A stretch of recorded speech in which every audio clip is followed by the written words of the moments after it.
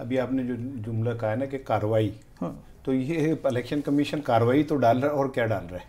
इसे कार्रवाई डालना कहते हैं। अदरवाइज़ देखें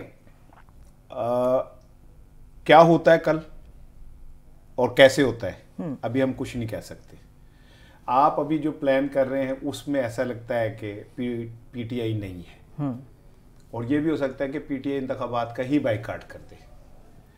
ये उसका इस इंतबात से बेहतरीन इंतकाम होगा अगर उसने इंतकाम लेना अगर वो कह दें आप इलेक्शन में ही नहीं है तो फिर इनके बॉयकॉट तो का उसके फ़ायदा? बावजूद भी वो जाए कुछ भी कहें। यानी कि वो मजीद कोई कार्रवाई नहीं करेंगे इसको चैलेंज भी नहीं करेंगे किसी अदालत में कहीं नहीं जाएँगे नहीं नहीं मैं अर्ज़ कर रहा हूँ करेंगे। अपनी वो पू- लड़ाई पूरी लड़ेंगे और पूरी तरह इलेक्शन कमीशन को एक्सपोज करेंगे। ओके पहले लोगों के सामने उसे पूरी तरह एक्सपोज करेंगे।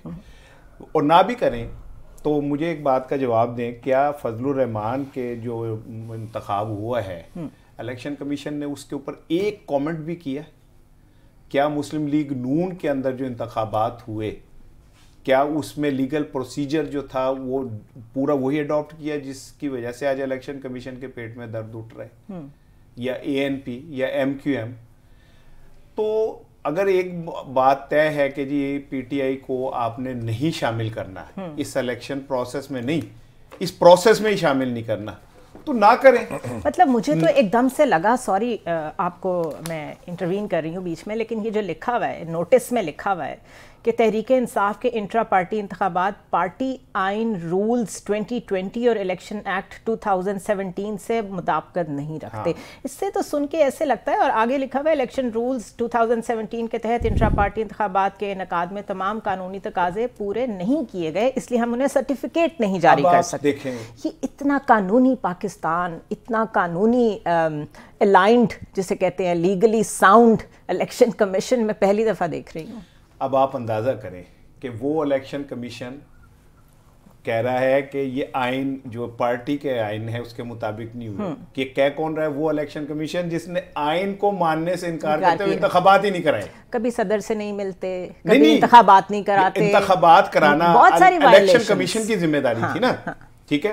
इनके जिम्मे एक ही काम था कि इन्होंने इलेक्शन कराना है और आइन के मुताबिक वक्त पे कराना है। और ये वही नहीं कर ठीक है?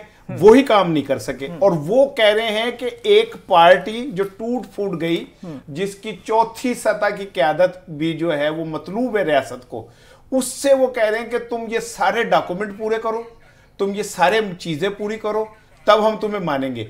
लेकिन मौलाना फजलुर रहमान अब A N P Shahbaz Sharif Nawaz Sharif ये सारे लोग जो हैं ये ये मुझे बताएँ कि कब ये क्या कहते हैं इनसे कौन पूछेगा?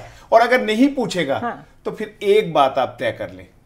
जो मैंने जुमला पहले कहा था कि पीटीआई ये इंतकाम लेगी कि वो इस इंतखाबात से अगर वो बाइकाट कर दे वैसे तो कौन सा वो हिस्सा लेंगे? पॉसिबल ले भी लें तो कौन है और ठीक है ना? कंटेस्ट करने के लिए? वो- वो जो जैसे वो बता रहे थे फैसल वोडका साहब ने जो कहा है वाडा। वो- कप वार्ड का भाई खुदा का वास्ते इस्लामी मुल्क का क्या नाम ले नहीं रहे नहीं आई एम सॉरी ज़्यादा घबरा गए हो आज लगता हाँ है मैं बहुत ज़्यादा घबरा गया नहीं, नहीं, और। मैं फैसल वाउडा वावडा साहब जो। है उन्होंने जो कहा उनको कहाँ से इतलात आती हैं कैसे उन्हें पता चल जाता कुछ है कि लोगों के कुछ- ज- फैसल वाडा साहब की तरह कुछ लोगों की ट्वीट्स भी इतनी सच साबित होती हैं। कुछ सहाफी हैं ऐसे आप भी जानते होंगे।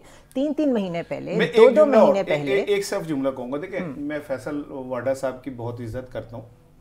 उनका एक सियासी कैरियर है। मेरे मुँह से वो फ्लो में निकल गया लफ्ज लेकिन ये कि मैं ये समझता हूँ कि जब लोग इस सतह पे चले जाएँ कि वो कहें कि मैं कह रहा हूँ कि ऐसा नहीं होगा। मैं कह रहा हूँ कि ऐसा नहीं होगा। तो फिर हमें एक दफ़ा सोचना पड़ता है कि निज़ाम चाहिए निज़ाम कि आप कौन है? हाँ और- और निज़ाम के जो है वो कहाँ पे खड़ा है? किसके हाथ में खड़ा है? और अगर फैसल वाडा साहब ने ही सारा कुछ बताना है तो फिर पीछे क्या रह जाता है?